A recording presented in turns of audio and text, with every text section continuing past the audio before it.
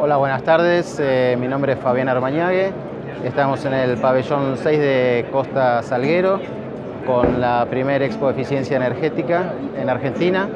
es una feria que reúne a 65 expositores. En paralelo se desarrollan cursos y seminarios, charlas comerciales de las empresas. Hoy, 8 de junio, se está llevando a cabo el Seminario Internacional de Eficiencia Energética con la presencia de importantes disertantes nacionales e internacionales, entre ellos Ross Montgomery de ASHRAE de Estados Unidos, eh, Diego Lizana Rojas de la Agencia Chilena de Eficiencia Energética, Gustavo Casal del Ministerio de Minas y Energías de Paraguay y Andrea Heinz del Ministerio de Energía, la Subsecretaría de Eficiencia Energética eh, local.